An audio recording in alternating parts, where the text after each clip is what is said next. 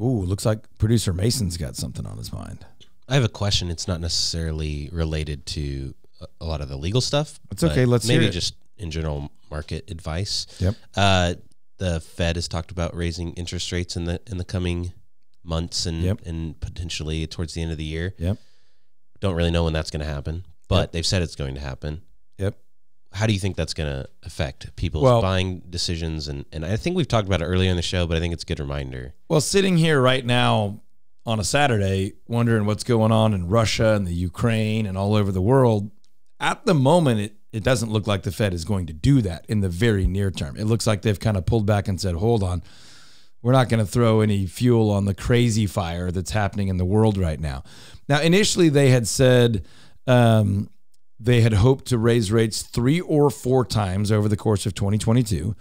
Um, and they never really said this publicly, but the insider info said the goal was probably to increase rates about one percentage point over the course of the year. Now, not everybody agrees on that, but that's the most popular thing people were saying. So that looked like probably a quarter point bump four times or, or some average of that.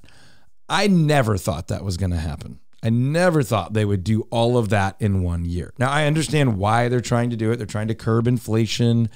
Um, there's, believe it or not, people that are worried about deflation and a whole nother ball of wax called stagflation. But um, the reality is, the short answer that I think will serve homeowners, buyers, and sellers of real estate is that uh, it doesn't look like um, they're going to pressure that quite as much. Now, as, as recently as a day ago, uh, Jerome Powell, uh, Fed chairman, uh, said that he expects a quarter point increase from the Fed for the Federal Reserve rate by the end of the month.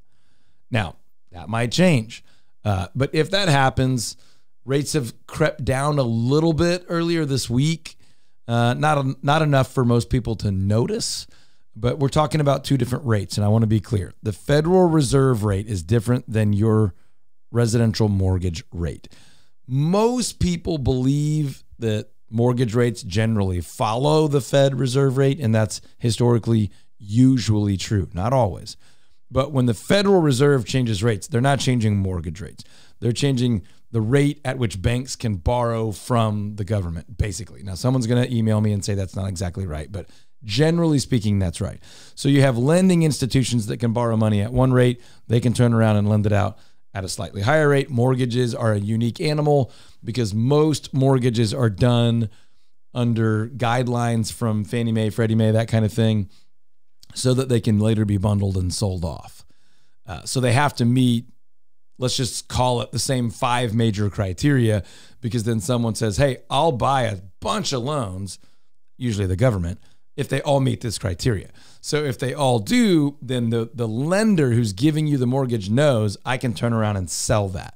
I'm not actually going to give you a loan and wait for 30 years for you to pay me and for me to make a little bit of money every month. Most loan officers, loan originators are operating under a model where they're selling you what what's called a conforming loan. It conforms to um, those big criteria so they can be sold off. That leads to mortgage backed securities, which people don't like that word because of what happened in 2007 and 8. But that's the story behind all that, which I know is a long answer. But I think it matters to people to know why that stuff moves around. When things are hard, why is it going up? Well, slightly less debt uh, tends to stabilize things, and that's the goal.